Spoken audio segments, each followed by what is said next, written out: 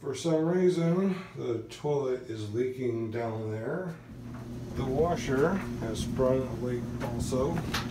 The hose here sprung a leak down here, so it can't be fixed, it has to be replaced. If I don't tie a string to it, it'll get stuck in there, I can't get it out.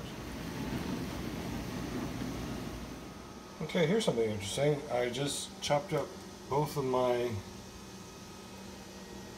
um, oranges and these are dark red. Well, orange orange. These are like yellow orange. This is the way they normally are. I've never seen them like this and no, it's not grapefruit. looks like grapefruit, but it's not. It smells, tastes like oranges. What, what, what, have you seen anything like this before? All right, so you guys asked me to ask the doctor if was all right for me to fast and do the things I want to do since I had the open heart surgery.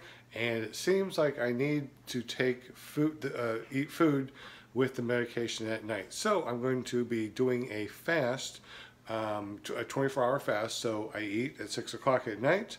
After I'm done eating, that's all I eat until the next day when I have something else. Um, however, I am eating um, all fruits and veggies. Uh. All right, so I broke apart the noodles, heat up the oil, put this in here, and mix this up for three minutes. Three minutes. Add your veggies. And toss. Oh, that's, that's a lot of veggies. All right, for four minutes. Keep on stirring. All right. Add the sauce packet.